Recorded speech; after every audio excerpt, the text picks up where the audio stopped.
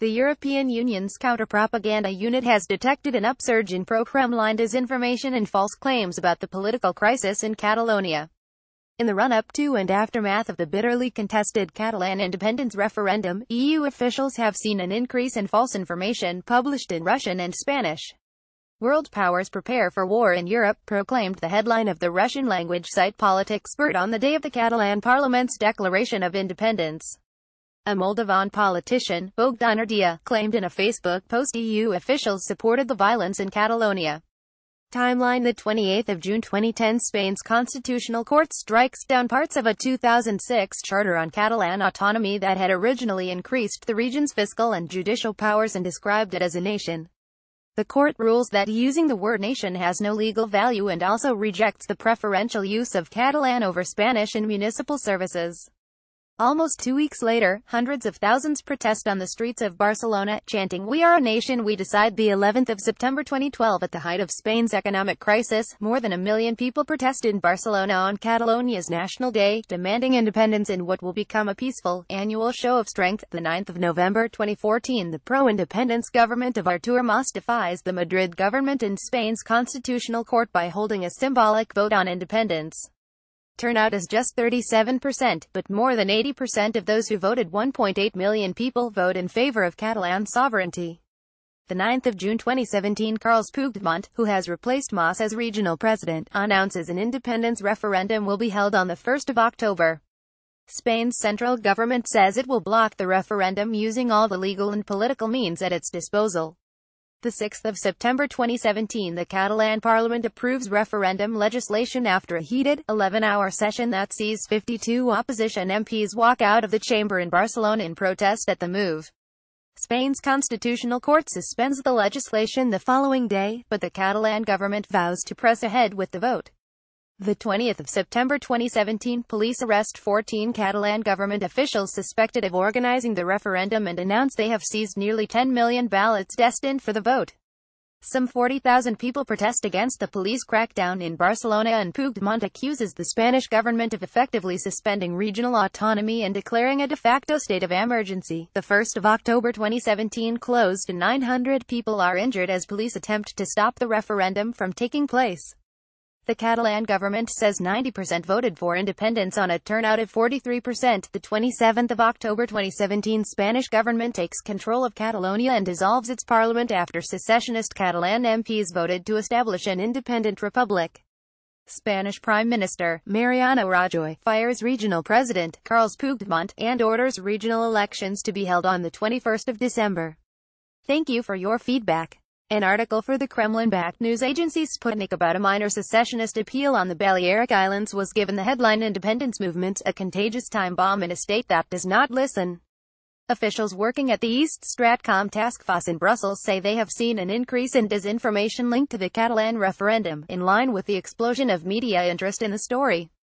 The unit started work in September 2015 as part of an attempt to debunk fake news and improve understanding of EU policies in Eastern Europe. The findings emerged after Spain's foreign minister, Alfonso Dastis, said intelligence suggested Russianers were targeting the European Union. Spain raised the issue on Monday at a meeting of EU foreign and defense ministers in Brussels. Defense Minister Dolores de Cospedal said it was clear that a lot the messaging on social media around the Catalan crisis came from Russian territory, though a definitive link to the government had not been proved. It is important that we know that there are certain entities, which may be public or private, that try to interfere in national politics, that try to affect and create unstable situations in Europe, de Cospedal said at a meeting of EU foreign and defense ministers on Monday. We have the obligation to declare openly, that public opinion knows about it and to fight against it. Last week the commander of NATO forces in Europe, U.S. Gen Curtis Scaparrotti, called on Russia to stop meddling in European elections.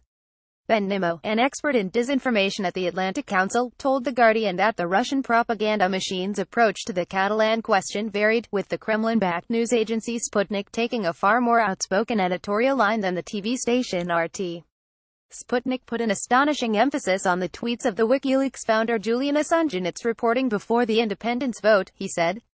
During a three-week period in September, the analyst found that Sputnik based 11 stories on Catalonia on tweets by Assange, compared with 10 based on comments by Catalonia's president, Carles Puigdemont, and 5 on the Spanish Prime Minister, Mariano Rajoy. Until September this year Assange had never tweeted on Catalonia. The decision to give him that prominence can't be justified on his expertise, so the only logical reason for them to give him such prominence is because he was criticizing Spain, Nimmo said. RT was a lot more balanced than Sputnik on Catalonia, Nimmo said, which suggested there had been no central direction on how to treat the story.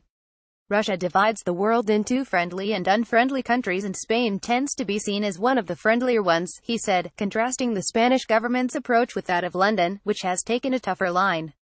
The Russian government does not have the same strategic interest in destabilizing Spain as it does with the UK.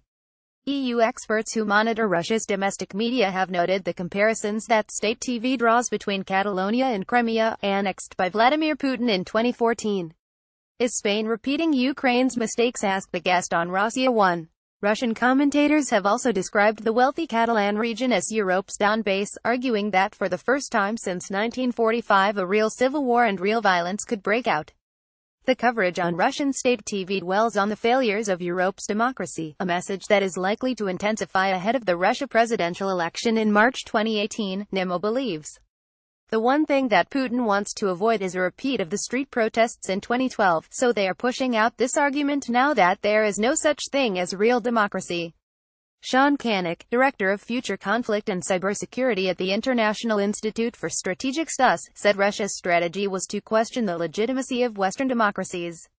Raising questions about the rule of law or the legitimacy of any particular election would actually be to Russia's benefit, even if they aren't influencing the actual outcome of the result. It is a distraction, it is a confusion, it is destabilizing. Victor Boștinaru, a Romanian socialist MEP, said genuine protests and democratic movements in Europe were vulnerable to manipulation.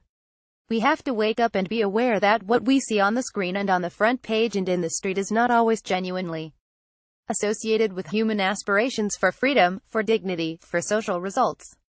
The MEP, who sits on the European Parliament's Foreign Affairs Committee, is pressing for the EU to devote more resources to East Stratcom, which currently employs 14 times staff in Brussels. In 2016, EU member states, which control the purse strings and set the direction of EU foreign policy, rejected a proposal by MEPs to give the unit a larger budget. Additional reporting by Sam Jones in Madrid.